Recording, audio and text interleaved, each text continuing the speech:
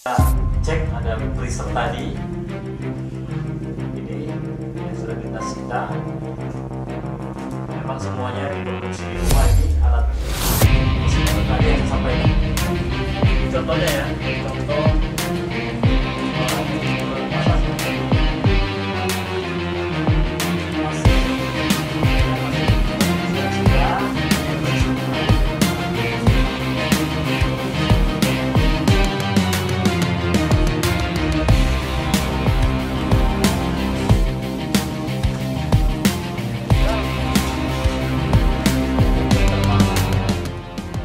tersangka sendiri kami akan jerat tiga pasal.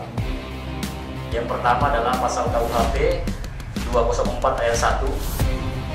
Kemudian pasal 62 ayat 1 Undang-Undang nomor 8 tahun 1999 tentang perlindungan konsumen dan Undang-Undang nomor 12 tahun 2012 tentang pangan atau perubahan atas Undang-Undang Nomor 7 Tahun 1996 tentang pangan dengan ancaman pidana penjara 15 tahun.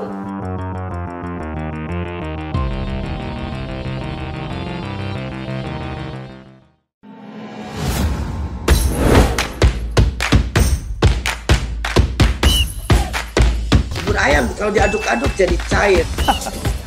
Seriously. Diaduk kayaknya ya.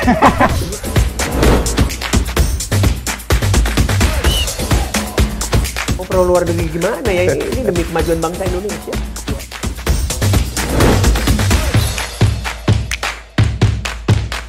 isu kebangkitan uh, PKI ini uh, dihentikan.